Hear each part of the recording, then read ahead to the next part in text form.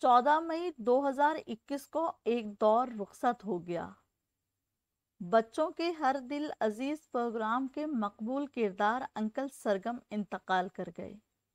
मरहूम कॉलम निगार फनकार और पुतली तमाशा के माहिर के नाम से जाने जाते थे। वो खुद अपने आप में एक जहान थे। वो काफ़ी अरसे से अलील थे।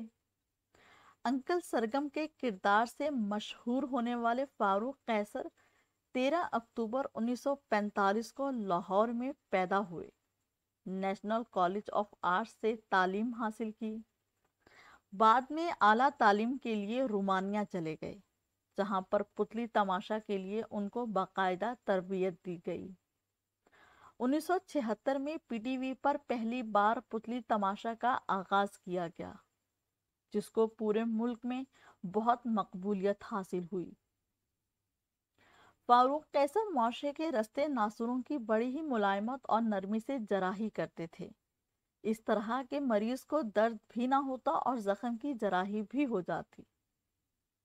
अपने मखसूस शगुफ्ता अंदाज में पढ़ने वालों को अपने शहर में जकड़ लेते कि बंदा आखिर तक तहरीर पढ़े बिना रह ना पाता।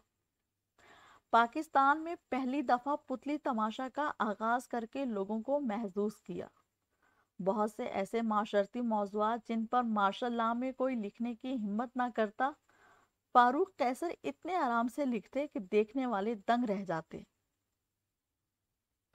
अमूमन कॉलमिस्ट हजरात की फ़नी ज़िंदगी बहुत से तनाज़ात से जुड़ी रहती है, मगर अंकल सरगम वो वाहिद फनकार थे जो सारी ज़िंदगी तनाज़ात से दूर रहे।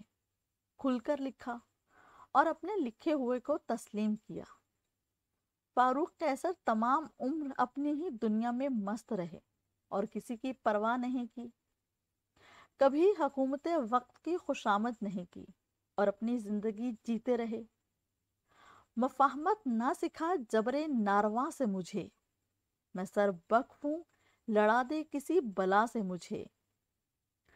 तमाम उम्र मुआरे की फलाह के लिए काम करने वाला शख्स आज हर बंदे के तस्करे में मौजूद है।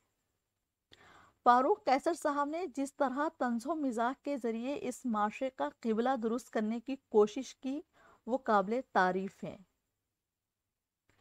आपने अपने कॉलम्स के ज़रिए लोगों में शूर पैदा करने की कोशिश की।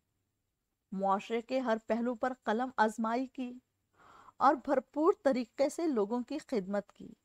अल्लाह ताला उनको जवार रहमत में जगह दे और जन्नत में बुलंद मकाम अता करे। आमीन।